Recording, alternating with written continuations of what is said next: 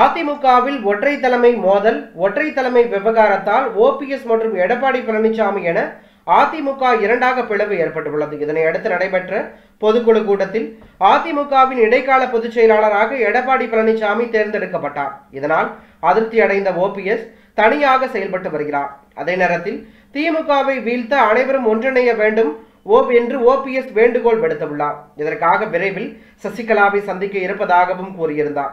இந்த பரபரப்பான சூழ்நிலைக்கு மத்தியில் அதிமுகவின் இடைக்கால பொதுச் செயலாளராக எடப்பாடி பழனிசாமி தேர்வு செய்யப்பட்ட நிலையில் நேற்று முதல் முறையாக அதிமுக தலைமை அலுவலகத்திற்கு எடப்பாடி பழனிசாமி சென்றார். அப்போது அதிமுகவில் சசிகலா மற்றும் தினகரனை சேர்த்துக் கொள்ள மாட்டோம் என கூறியவர் ஓபிஎஸ்ஐ தொண்டர்கள் மன்னிக்கவே மாட்டார்கள் என திட்டவட்டமாக கூறியிருந்தார்.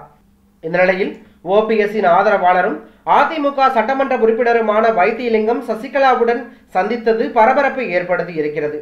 சசிகலா தஞ்சை மாவட்டம் ஒரத்தநாட்டில் உள்ள ஒரு திருமண நிகழ்ச்சிக்கு இன்று காலை சென்றுள்ளார் திருமண நிகழ்வில் கலந்து கொண்ட பிறகு தஞ்சாவூர் நோக்கி சசிகலா சென்று கொண்டிருந்த போது வைத்தியலிங்கத்தை சந்தித்து பேசியுள்ளார்.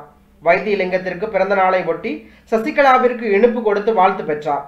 திடீரென நடைபெற்ற இந்த சந்திப்பு அதிமுக தொண்டர்களிடம் அதிர்ச்சியை ஏற்படுத்தி உள்ளது இது தற்போது எடப்பாடி பழனிசாமியை அதிர வைத்துள்ளதாக தகவல் வெளியாகி உள்ளது.